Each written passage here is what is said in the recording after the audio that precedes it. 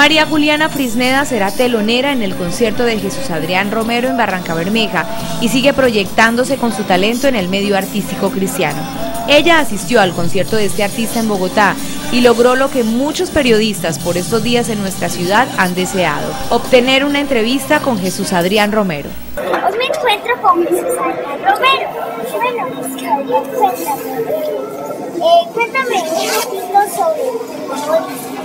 Bueno, el nuevo disco se llama Soplando Vida y es el disco que vamos a estar cantando algunas canciones allá en Barranca Bermeja. Eh, espero que le guste la gente.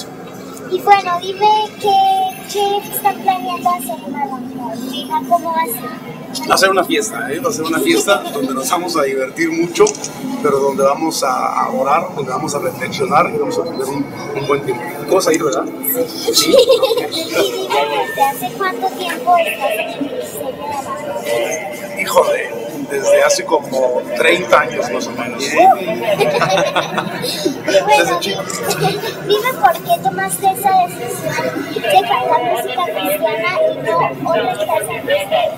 Ah, bueno, digo, nunca pensé en cantar otro tipo de música porque es un don que Dios me dio, un talento que Dios me dio, entonces se lo quise dedicar a él.